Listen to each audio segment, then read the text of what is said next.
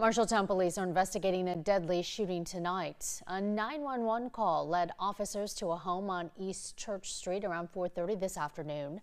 Their investigators found two victims, a 57-year-old woman who died at the scene and a 72-year-old man who was hospitalized with life-threatening injuries.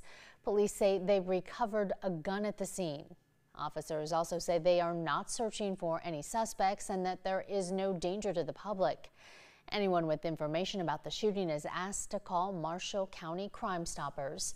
The number is 641 753 1234.